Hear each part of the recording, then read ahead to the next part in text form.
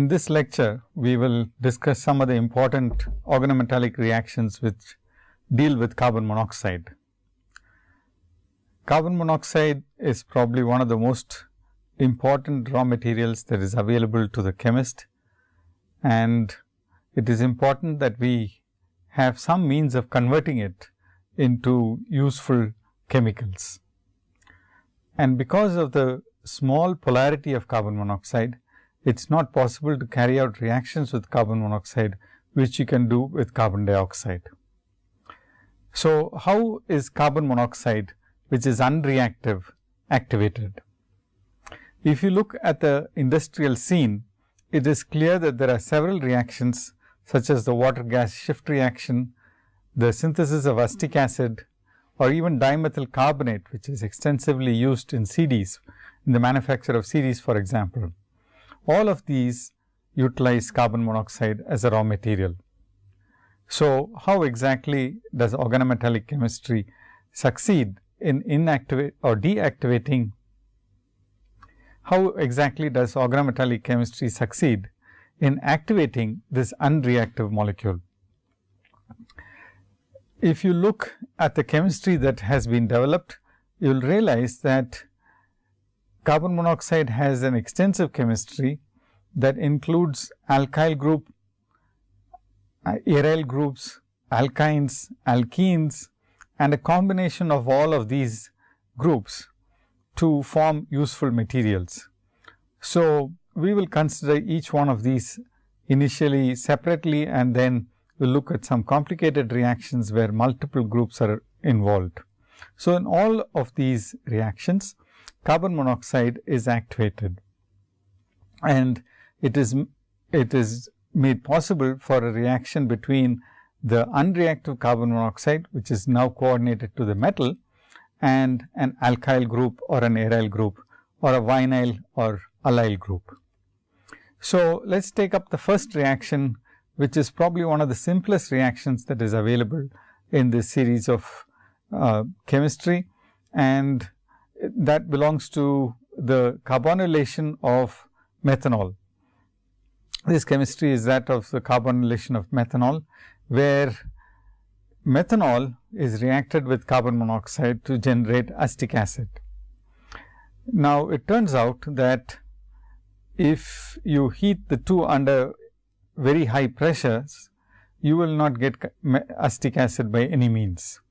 But the presence of rhodium iodide and methyl iodide as a catalyst these two are used in catalytic quantities and that is the uh, molar ratios in which you have to do the reaction.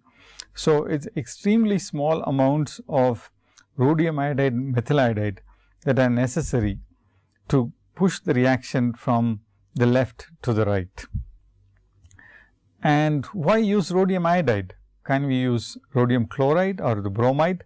The answer is no. Actually, it has been shown that HI is essential for driving the reaction from the left to the right. Now, this is uh, strange until you consider the fact that HI actually converts methanol into methyl iodide and that is this reaction that we are talking about right here, which undergoes a simple insertion reaction of methyl iodide with carbon monoxide to give you acetyl iodide. And if you add up all three reactions, the hydrolysis of acetyl iodide to give you acetic acid and the two reactions that we just talked about, you will you will come to the conclusion that you just need to add methanol and carbon monoxide to get acetic acid. So, it turns out that although you need methyl iodide in catalytic quantities and rhodium iodide also, this reaction is an extremely profitable reaction, where you have taken two rather unreactive species and converted them into acetic acid, which is such a useful raw material in the industry. Now, let us take a look at the science behind this whole process. Why do we need methyl iodide? Methyl iodide is the one which will undergo this first step in this reaction, where the rhodium diiodorhodium carbonylate species, which I am marking for you right here. The one that undergoes oxidative addition. You will notice that this is a D8 species and it has got a nice filled d orbital that is in the dz squared along the z axis in the dz squared orbital and that is perpendicular to the plane in which the ligands are kept. Now, that carries out a nucleophilic substitution reaction on methyl iodide. So, you need a fairly good leaving group for the iodo group to leave from the methyl uh, species, so that you can achieve this 6 coordinated compound which is now D 6 and it is octahedral in nature and you have a rhodium 1 compound being converted to rhodium 3 because you have undergone oxidative addition. This is an oxidative addition reaction and it is now set up to carry out the next step which is the insertion of carbon monoxide. Now, as we mentioned in the studies in insertion reactions, it is the methyl group which migrates to the carbon monoxide. So, it the methyl group migrates to the carbon monoxide, so that you have an acetyl group coordinated to the rhodium. Now, this whole step is in fact an equilibrium process. This keeps oscillating back and forth. But if you have excess pressure of carbon monoxide, you can drive the reaction to uh, the to the left side of this catalytic cycle, so much so that you will end up with this compound in solution, which now reductively eliminates. So, it undergoes a reductive elimination. This is a rhodium 3 species and that undergoes reductive elimination to give you the catalytically active RH2CO2 minus species, which is the resting state of the catalyst. This is the resting state of the catalyst and uh, acetyl iodide is eliminated in the reductive elimination step. So, as we saw earlier acetyl iodide will be now converted to hydroiodic acid and acetic acid and the hydroiodic acid is capable of converting the methanol to methyl iodide which we have pictured here. So, essentially we have converted methanol to acetic acid. So, this is this step that we have just considered this catalytic cycle that we have just considered is the simplest of the carbonylation reactions that we would consider today. In there is only one oxidative addition and there is an insertion process and a reductive elimination. So, this is an extremely simple catalytic cycle. Now, we will consider a more complex situation where there are two key steps in the whole reaction and that is the hydroformylation reaction you will realize that the previous reaction that we discussed was was primarily developed by this company Monsanto and now we are talking about another chemical company called Ruhr Chemie which developed this hydroformylation reaction.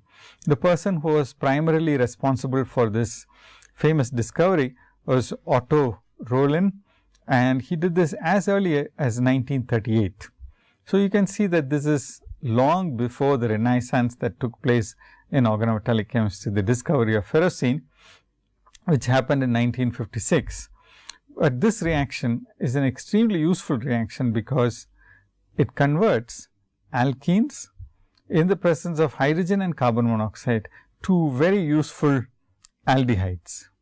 Now, it is possible for this reaction to give you an isomer and we have illustrated this in the second equation that we have written.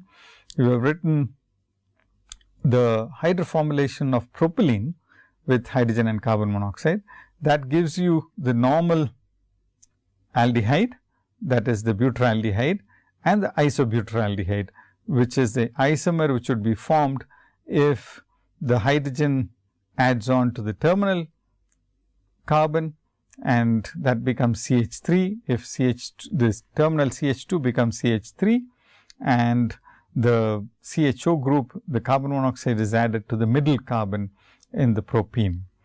So, this turns out to be a complication and in fact, the main advantage or the main improvements that have been done in this reaction is an improvement in the selectivity of this whole process. Now, Roelen used dicobalt octacarbonyl as a catalyst. This turns out to be a very efficient catalyst if you use it at these high temperatures 120 and 170 degrees and with a fairly high pressure of carbon monoxide and hydrogen. So, you will realize that in many of these chemistries that we are going to talk about today, you have to use high pressure of carbon monoxide in order to drive the equilibrium to the right and make the whole situation very favorable and fast. Now, it turns out that this olefin hydroformylation reaction underwent a significant improvement in 1976 and that is the time when Union Carbide used introduced a catalyst which was based on rhodium. The catalyst that was used by Otto Roelen was on cobalt and that would have given him HCOCO4. So, the uh, catalyst that was used by him was identical to this species except for the ligands and the metal have been changed. The oxidation state and the electron count are the same for these two complexes. So, HRHCO2 PPH3 twice was a catalyst that was used by Union Carbide and in fact, they used molten PPH3, PPH3 above the melting point of uh, the compound was used in the reaction medium and they found that they could convert the propene to normal butyraldehyde in very good yield. Now, you know that cobalt is 1000 times cheaper and so one has to ask the question why would you use rhodium which is so much more expensive and the answer of course is the fact that rhodium is 1000 times more effective and so it turns out to be more economical in the long run to use rhodium rather than cobalt. The temperatures and pressures are again very high and uh, they have to be kept high in order to drive the reaction to the right. I will write a catalytic cycle now, which is based on rhodium, but an analogous reaction with cobalt can be very easily written. The resting state is again a rhodium 1 compound. Here we have written a rhodium 1 species as the resting state of the catalyst and the reaction starts with coordination of an olefin to this D8 species. Now, we form a coordinatively saturated a D10 uh, alkene complex uh, and sorry that is a D8 alkene complex. And now you have a hydrogen cis next right next to an alkene. And the alkene would coordinate in such a way that the bulky group will indicate that with so the bulky group in fact coordinates closer to the hydrogen. So th that would be the preferred way of coordinating the alkene and the alkene now undergoes a insertion reaction the negatively charged or the formally negatively charged species migrates on to the neutral neutral ligand in such a way that you have now an alkyl rhodium 1 compound. So, you had a hydrido alkene complex and after the migration of the hydride you now have an alkyl complex. This again is a rhodium 1 species. So, we have just carried out during the course of this one step a migration reaction which does not change the oxidation state of rhodium. Now, you, you can in the next step carry out a carbonylation reaction. So, we can add a carbon monoxide to this species to this rhodium 1 alkyl molecule. We can add a carbon monoxide and that gives us a pentacoordinate rhodium 1 species, which can undergo migratory insertion reaction again. Now, the anionic group is this alkyl group here. So, this alkyl group migrates on to the carbon monoxide and as a result of this migration,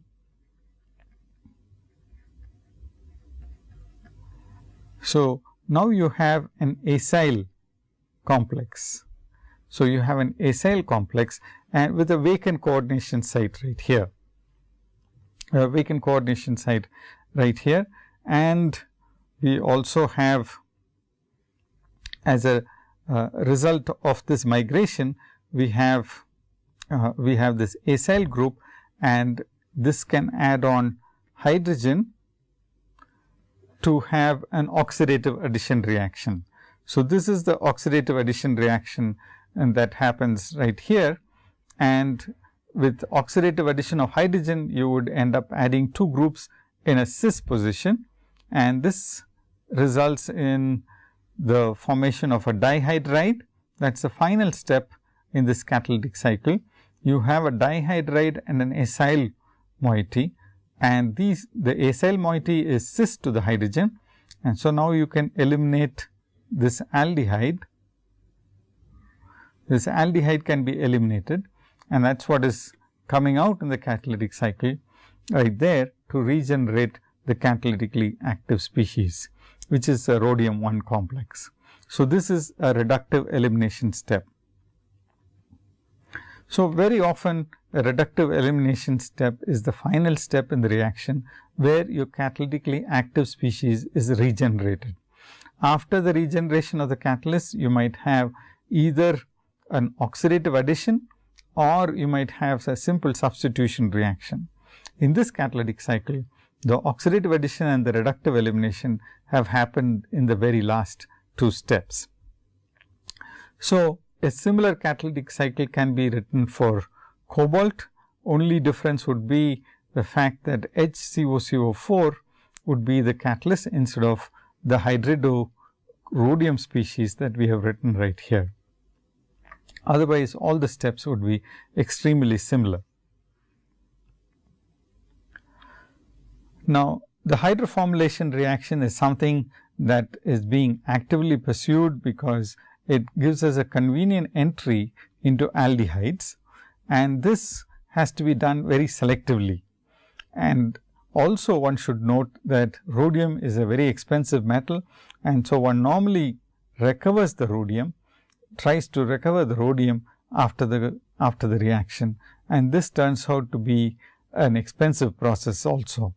So, we should also avoid contamination of the product with the catalyst in this case rhodium and it has been said that in some of the uh, expensive catalysts uh, that have been used early processes were so inefficient that the concentration of the catalyst in the product was greater than the concentration of the metal in the ore from which it was initially synthesized.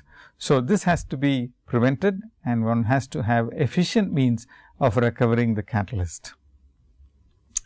So, hydroformylation in water was one possible solution to this whole difficulty and the company Rhone Poulenc, Poulenc, Rhone Poulenc was a French company which discovered a water soluble rhodium catalyst. Once again the catalyst was the rhodium 1 species which is the D8 species which uh, has been described earlier. So, the mechanism of the reaction would be identical except that by introduction of the SO3H group, the SO3H group makes the phosphine water soluble and in turn the phosphine coordinated to the rhodium makes the catalyst water soluble. This is a catalyst which is quite popular and has been abbreviated as TPPTS and it is pictured here.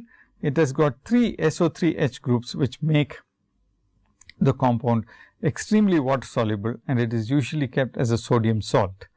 The separation of the catalyst is easy because one only has to remove the aldehyde which is usually uh, organic compound soluble in organic solvents and so it can be extracted and the water containing the catalyst can be recycled. So, hydroformylation in water is one of the means by which one can carry out the reaction efficiently and at the same time save the catalyst and use it for the next step of the reaction. So, uh, in, in all these cases, you notice that the anionic substrate is the one that adds on to the neutral substrate. In this case, the neutral substrate is carbon monoxide. It is also possible to carry out the reaction in such a way that a second neutral substrate is also added and then subsequently a reductive elimination is carried out. So, multiple insertions can happen in the catalytic cycle. Uh, example of such a reaction is the Reppe reaction. Walter Reppe again working in a German company uh, called BASF which is still around and is an extremely old company which used to manufacture aniline and uh, soda, soda ash and these these chemicals are bulk chemicals which are used in the chemical industry in very large amounts. They discovered some very interesting chemistry which went along with acetylene, carbon monoxide and water.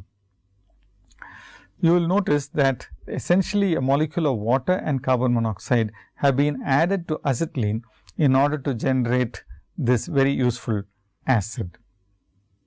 So, uh, the reaction was carried out again under um, um, high pressure of carbon monoxide, but notice because you are using acetylene, this reaction was a great technical challenge to compress acetylene without an explosion was in fact a difficult uh, task to accomplish. It is to the credit of Walter Reppe who discovered ways and means of handling acetylene so that it would not explode even when it was pressurized and used in this particular reaction. So, he used it at high temperature at 180 degrees in the presence of nickel bromide and cuprous iodide as catalyst. He was able to convert acetylene to acrylic acid and in the presence of an alcohol instead of water, you can directly convert it into the ester. So, you can either make the ester or the acid depending on whether you use water or an alcohol. So, these reactions were carried out primarily with nickel as a catalyst and copper iodide was just a promoter that was added. And if you do the reaction at a higher pressure of carbon monoxide, slightly higher pressure of carbon monoxide, then the same reaction would undergo a second addition of uh, carbon monoxide and water to this acrylic acid and generate this saturated diacid. So, you can see that the reaction can be an extremely versatile and extremely useful reaction, where you can convert acetylene, which is again available in bulk quantities to useful organic compounds which are required in the industry for the synthesis of uh, drugs and pharmaceut pharmaceuticals and dyestuffs and so on. So, how exactly does this reaction work? Here is a possible scheme that we have written with nickel and a same reaction scheme can be written for the second step also. Only the first step is shown here and that too with nickel tetracarbonyl. Nickel tetracarbonyl can lose two molecules of carbon monoxide and undergo oxidative addition to give you this nickel 2 complex. Here nickel is in the oxidation state of plus 2 and you have a hydrido nickel um, uh, compound which has got this X group which is a group that has to be uh, added. In this particular case, you would have to have OR, X is OR or it could be OH if you are using water in the reaction medium. So, if you end up having this nickel 2 plus complex, which can then coordinate to acetylene. So, the next step is of course, coordination of an acetylene molecule and that is what we have here. So, you have an acetylene molecule coordinated to the nickel and you have a hydrogen next to the uh, on the nickel next to the acetylene, you can have an insertion reaction. This insertion reaction would give you a vinyl nickel species and that is shown here a vinyl nickel species, where the hydrogen in the cis position has migrated onto the acetylene. And that gives you uh, again a nickel 2 species, but now the nickel 2 species can um, ha has carbon monoxide which to which it can migrate to. And so so you have a migration of this vinyl group the vinyl group migrates onto the carbon monoxide which is in the cis position and that gives you the acyl moiety which is pictured here. The acyl moiety can now do a reductive elimination of the two groups the X group and the acyl moiety to give you the product. So, this is your product and this step is your reductive elimination. That gives you back nickel 0 which has got only two carbon monoxides and if it oxidatively adds HX which in this particular case it would be the ROH. So, if you start with nickel bromide you can also think of adding the Br and the final step you would have a hydrolysis reaction or an alcoholysis reaction. So, because you would have nickel tetracarbonyl is generated from nickel bromide in the in the catalytic cycle. Uh, you need only nickel carbonyl, but you can generate it in situ from nickel dibromide and carbon monoxide. So, the Reppe catalytic cycle involves an oxidative addition and insertion, two insertions in fact an insertion of carbon monoxide, insertion of an acetylene and that gives you the required acrylic acid at the end if water is used in the reaction medium. Now, let us take a small detour to heterogeneous catalysis and I will just mention two important industrially important reactions which have got a lot of relevance to the organometallic chemistry that we are studying. This reaction is actually the water gas shift reaction, where water and carbon monoxide is converted to carbon dioxide and the extremely useful energy rich species which is hydrogen. Now, this reaction is normally carried out under heterogeneous conditions. You have a catalyst which is mostly iron supported on uh, copper, uh, copper and these reactions are surprisingly are difficult to carry out in a homogeneous conditions. So, there are practically no homogeneous analogues for these heterogeneous reactions. Yet catalysts like the species that I have indicated here have been used to show that these reactions can be done at least on a small scale or even if it, they are inefficient, they show that such chemistry is in fact feasible. So, the reason why I, I have chosen these examples is because even though these heterogeneous reactions are really like a black box, you do not know what is going on, but still sufficient organometallic chemistry must be going on. There is sufficient organometallic chemistry that is available, which shows that these reactions can be mimicked in the homogeneous scale also. So, let me give you a catalytic cycle that is possible with uh, the possible catalytic cycle written with iron pentacarbonyl. And here, if you have iron pentacarbonyl and you have um, uh, water reacting with it, let us consider it in two steps with OH minus attacking the carbon monoxide. You can have this OH minus attacking this carbon monoxide to give you um, COOH coordinated, it is an acyl um, a carboxylato anion, which is coordinated to the iron and that will have a negative charge because we have added a negatively charged species. We can eliminate from this species CO2 because you have the right groups with the right connectivity. If you eliminate CO2, and if the hydrogen moves on to the iron. So, that would be exactly like a beta hydride elimination. So, you would get a iron hydrido species.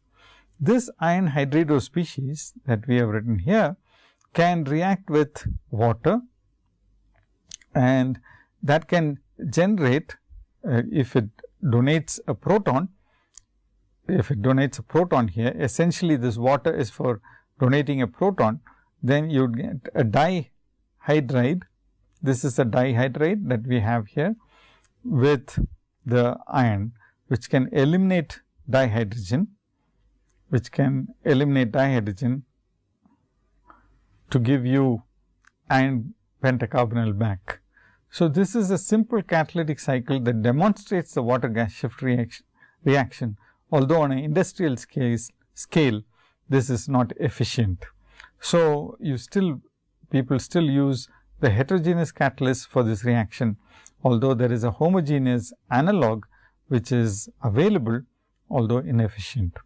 So, what we have done is we have done the reverse of the you, have done in insertion on the carbon monoxide which has given us a hydrido species and that hydrido species gets protonated in this step with water and dihydrogen is eliminated in order to get you the iron pentacarbonyl back.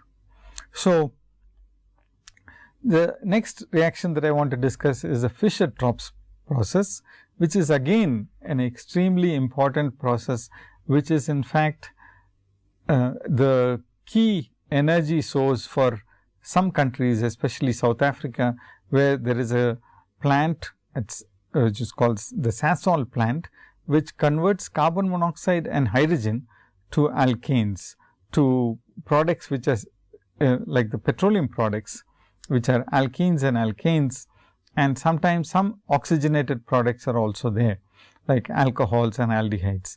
Now, the question is how does this reaction work? Now, carbon monoxide is reacted in the presence of a metal surface and so it is easy to imagine the metal surface as reacting with carbon monoxide to generate metal carbonyl species which can be reacted with hydrogen and get it might get converted to a methylene species and these species can couple. So, this is shown here in a pictorial fashion, but essentially what we are saying is that the metal carbonyl can undergo hydrogenation reactions or the activated hydrogen which is like a hydride can undergo migration reactions and eventually generate metal carbenes. These carbenes can couple as we have shown here if two carbenes are close together then they can couple and the coupled product can undergo an insertion reaction. Here is an insertion reaction and here is a coupling reaction. These are steps which we are repeatedly encountering in carbon monoxide chemistry and this is the kind of chemistry must, that must be going on on the surface of the heterogeneous catalyst and this heterogeneous catalyst is a one that is efficient in generating the petroleum products. So, suffice it to say that heterogeneous catalysis is uh, very efficient and it cannot be supplanted by organometallic chemistry completely, but there are sufficient uh, enlightenment on what is going on inside the heterogeneous catalyst by studying organometallic chemistry. Now, let us go back to the carbonylation reactions that we were discussing. Now, we will talk about a palladium promoted carbonylation reaction. Now, these are extremely useful in the laboratory and I have shown for you uh, a reaction which can generate a coumarin and um, coumarins and isocoumarins are synthesized very efficiently in the laboratory using this palladium promoted. This is catalyzed by uh, uh, by palladium and usually palladium in the zero oxidation state is what is the resting state of the catalyst, but it is generated in situ in the presence of carbon monoxide. Carbon monoxide efficiently reduces palladium 2 to palladium 0. So, palladium 0 is an actual uh, resting state of the catalyst. Uh, it is interesting that a variety of nucleophiles can be used uh, what we have written as NUH can be anything from alcohols or amines and this Rx could be a variety of groups. It could be vinyl, aryl and the uh, insertion reactions can happen very efficiently with even complicated molecules as the one that is shown here. Let us write the catalytic cycle now to see how exactly this reaction can proceed. So, here is a reaction where you have palladium 0 as the resting state of the catalyst and that can readily do an oxidative addition reaction. So, palladium goes to palladium plus 2. This is palladium plus 2, the formal oxidation state and it has got the R and the X groups attached to the palladium, which can now undergo an insertion reaction. So, for the insertion reaction, migratory insertion reaction to happen, we initially add a carbon monoxide ligand and generate this species, active species, where the R group migrates onto the carbon monoxide. Once the R group migrates to the carbon monoxide, you have an acyl moiety. This acyl moiety uh, is attached to the uh, attached to the X group, which came from the Rx. Now, instead of doing a reductive elimination, we can have an attack by the nucleophile, which we have, which we want to react Rx with. So, if the nucleophile attacks the attacks the carbon monoxide, the CO group of the acyl moiety. So, that is the CO group. If the nucleophile attacks here, you can end up with RCONU uh, and the NUH will give the proton to the palladium. So, this ends up generating a species which has got a hydridopalladium X group. This can eliminate HX and you regenerate palladium 0. So, this reaction is a simple reaction also. It involves a oxidative addition. So, that is this step an oxidative addition and a reductive elimination in the last step. So, the oxidative addition in fact happens between R and X. So, X has to be a good leaving group. This has to be a good leaving group and the nucleophile has to be a better nucleophile than the X group which is coming out as HX. So, as long as these conditions are satisfied and this condition is uh, satisfied for a variety of nucleophiles, if you have a halide and an amine which is coming in, then you have no problem and the triethylamine is basically a base which mops up the HX that is generated. So, at the end of the reaction ET3 NH plus is liberated or rather the H plus that is liberated is taken up as uh, as a is converted into this NET3 H plus salt X minus salt and that is removed from the reaction sphere. So, you could have a direct attack of the acyl group with a nucleophile the nucleophile can also coordinate prior to the reaction to the palladium before the attack on the acyl group. So, these two possibilities are there. Uh, another reagent which is useful in the laboratory is called Collman's reagent, because Coleman developed it uh, to a great extent and this is nothing but the reaction of iron pentacarbonyl with sodium, but sodium by itself does not react with iron pentacarbonyl, but if you react it with uh, in the in the presence of benzophenone, benzophenone is like a catalyst because it generates the ketyl radical anion. And this radical anion is capable of transferring the electron to iron and that results in the tetracarbonylate dianion, iron tetracarbonylate dianion, which is called Collman's reagent. So, this is the Collman's reagent that we are talking about and its chemistry has been extensively studied. Because it is such a nucleophilic species, it has got a lot of electron density on the ion, lot of electron density on the ion. It can carry out nucleophilic attacks on many, many electrophilic uh, organic compounds which are electrophiles. Here we have shown two possibilities. One is R x and that will give you an alkyl ferrate carbonylate um, species, alkyl iron carbonylate species or an acyl carbonylate species. So, it is also possible to convert this alkyl carbonylate species with addition of either a ligand or PPH3 or carbon monoxide itself to the acyl carbonylate species. So, you can generate this acyl carbonylate species uh, very efficiently and this carbonylate species which is nothing but the R group with an added carbon monoxide can undergo another reaction with another electrophile. Here we have shown the reaction with R x that gives you a ketone. This gives you a ketone. So, starting with R x you have converted it into a ketone or to an acid by reaction with oxygen. In that case the iron carbonylate anion is decomposed directly. Now, you can also treat it with an acid if you treat it with an acid, you generate an aldehyde and as in the previous case, you can also react it with a good nucleophile to generate RCONU.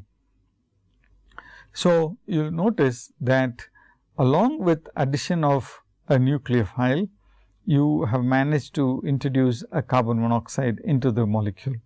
So, Collman's reagent turns out to be a useful reagent for synthesizing laboratory scale chemicals easily. I emphasize the fact that it is a laboratory reagent, not an industrial reagent, because one has to use a very expensive um, uh, material in order to generate the Collman's reagent. So, you have to use sodium and refluxing dioxane in order to generate the Collman's reagent.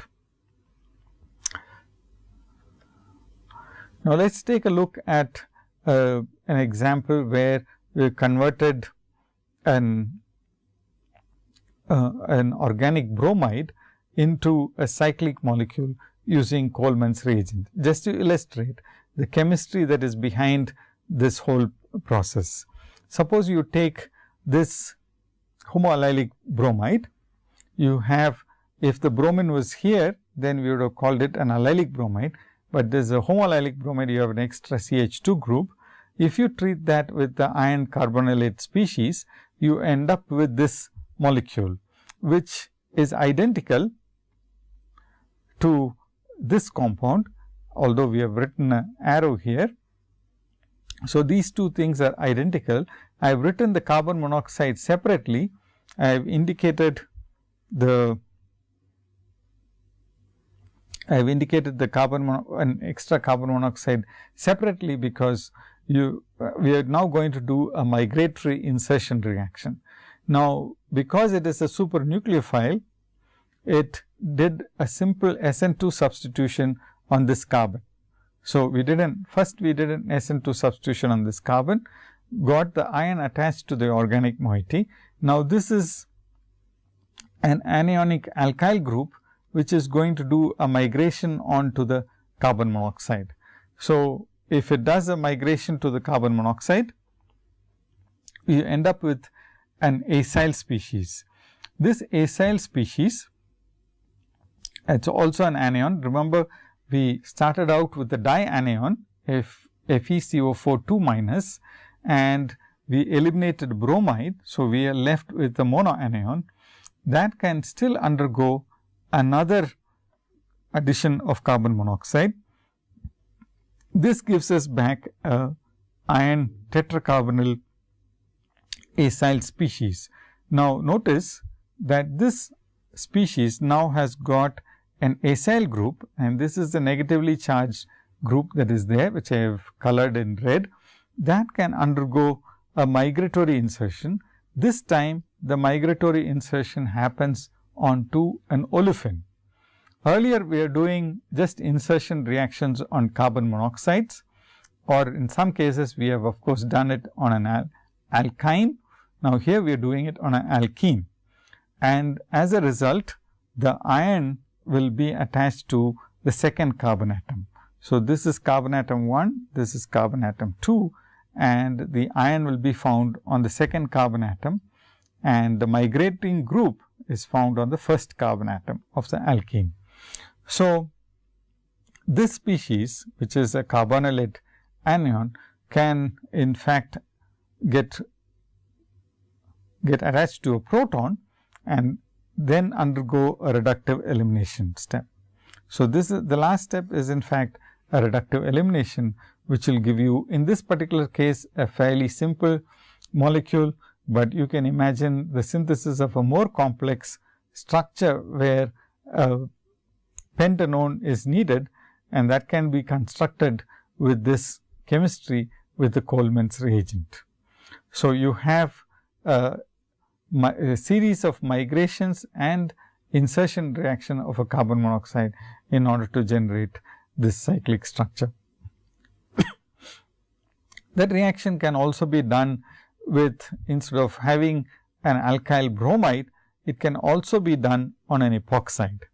Now, here I have shown you another metal which is capable of carrying out this kind of chemistry and instead of the cobalt, instead of the iron dianion, now we have a sodium cobaltate, tetracarbonyl cobaltate, which is going to carry out this nucleophilic attack at this position and that opens up the ring as an anion, as an ox, uh, O minus species here and in this reaction you have this neutral group carbon monoxide and an alkyl species which I have marked in red for you and this alkyl species can migrate to one of the carbon monoxides which is present on the cobalt. And if it does that and adds on a carbon monoxide, we have put we have included two steps here. One is the migration of the alkyl group and the other is addition of carbon monoxide. So, addition of carbon monoxide and migration gives you this new compound which has got o, o minus attached to an acyl moiety which is attached to the cobalt. Now, you can uh, do an alcoholysis using ROH which means you will have the ROH attacking in this position and liberation of COCO4 minus. And this of course, gives you gives you the ester directly mm, an ester and an alcohol directly. So, this tells you how useful this reaction can be. You have uh, attack of nucleophilic organometallic reagents on epoxides, halides and esters and so on. So, up to now, we have not considered the coupling of two neutral ligands. In the subsequent reaction, we are going to look at how two neutral ligands can be coupled in an oxidative fashion. Now, to just to remind you, this reaction is not something new. We have discussed the coupling of two acetylene fragments on a cobalt cobalt system, cobalt 1 to give us a, a cobalt 3 oxidatively coupled cobalt 3 species. So, this is going to be a very similar reaction. So, what we have is an oxidative coupling reaction and here is a reaction which is called the Pauson-Khand reaction, where an acetylene, an alkene and carbon monoxide are mixed together in order to generate a cyclopentanone.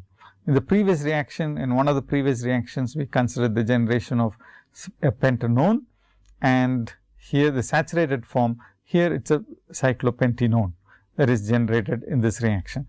The important thing is that it's a single step, single step one pot reaction that is carried out with carbon monoxide, dicobalt octacarbonyl and two organic compounds. One is an alkene, the other is an alkyne and you end up converting all three species in one step into a cyclic pentenone and that is what we have here.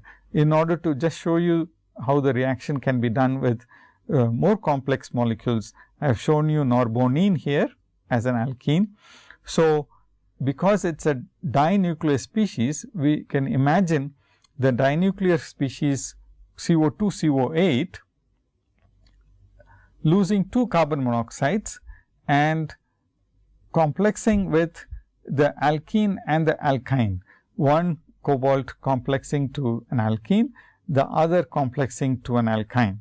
And if you do an oxidative coupling now, now you have a cobalt 0 species to start with and after the oxidative coupling each of these metal centers would increase the oxidation state by 1 unit and you would get a cobalt 1 uh, cluster where two cobalt 1 centers are adjacent to one another. And this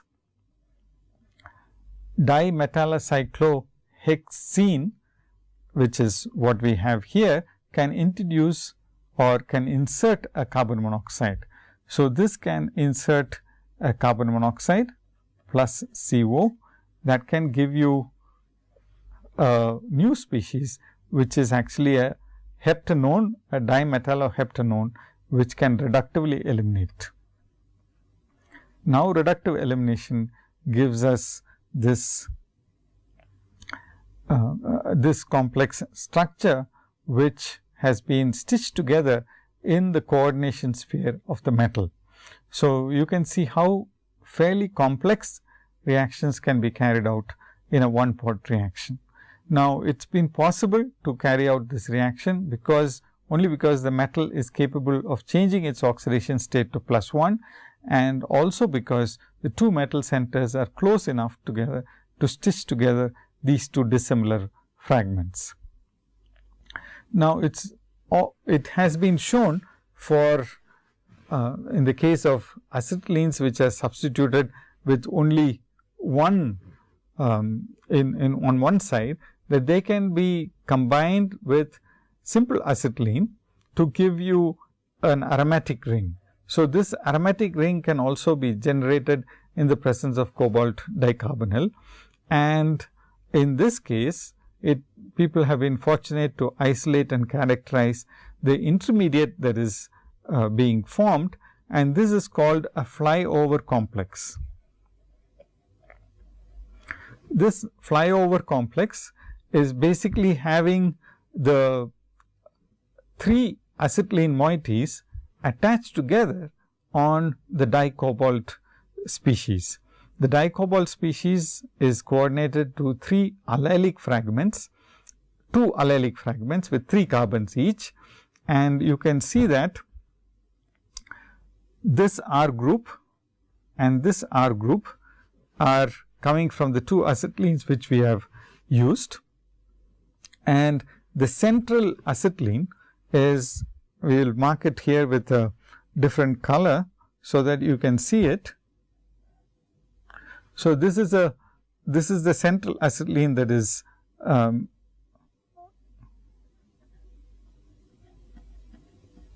that has been added and that is this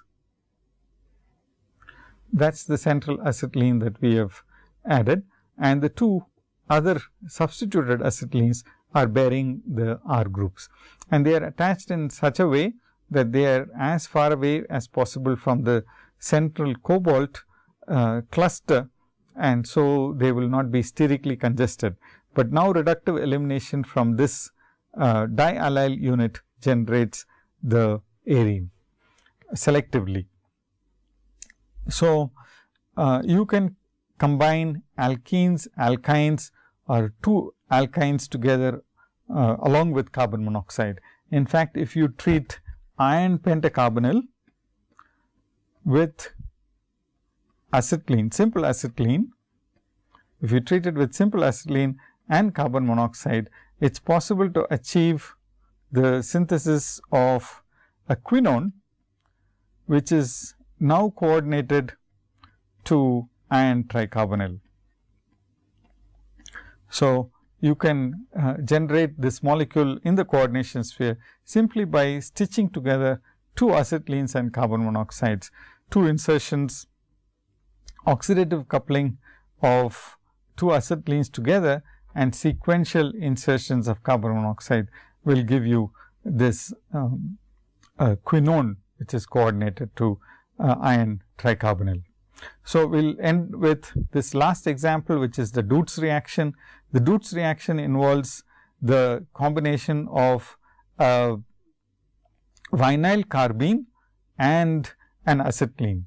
Vinyl carbene, acetylene um, uh, can be combined together along with carbon monoxide to give you this com fairly complicated ring structure. And this is a good example which tells you that very complex chemistries can be carried out in the, in the coordination sphere of the metal atom. So, we have a mechanism of the Dötz reaction which is described here. We have um, acetylene which is coordinated to the chromium in such a fashion that you end up with a reaction which is very similar to what happened in the metal carbene metathesis chemistry. So, you have the formation of uh, a cyclobutene, where there is a chromium on the cyclobutene ring and this now inserts carbon monoxide and that is a key step and that is indicated in green here. The inserted carbon monoxide comes from the coordination sphere of the metal and the added carbon monoxide just fills in a vacant coordination sphere. Subsequently, we can do an allylic shift of this of this group which is attached here because it is in an allylic position. So, you can see this 1, 2 and 3 and that will give you this chromium tetracarbonyl compound which will result in the formation of this diphenol and on one side you would have ether because you started out with the ether here. So, that is the group which is present here. So, these are extremely useful reactions and I will end with a dicarbonylation with which was discovered by Periasamy in um, and that is again with iron and that can also lead to very interesting molecules which are pictured here cyclobutene, diones and so on. And the double carbonylation is, uh, is a reaction which has rarely been observed and is and it is a very unique reaction that has been discovered with the use of simple iron pentacarbonyl and cuprous chloride as a catalyst. And the reaction can be modified to give a variety of substrates which are pictured here. One example, one possible intermediate is what I have shown you on this particular screen, where iron because it's it can dimerize, it can give you these very interesting uh, species where two iron centers can be uh, can be coordinated to the acetylene and sequentially insert carbon monoxide. So, a possible insertion mechanism for the double carbonylation is shown here in the last slide. So, the possibilities are endless and anionic species like H, R and AR can insert carbon monoxide and you can have a huge library of reactions built on the insertion of carbon monoxide. Bye.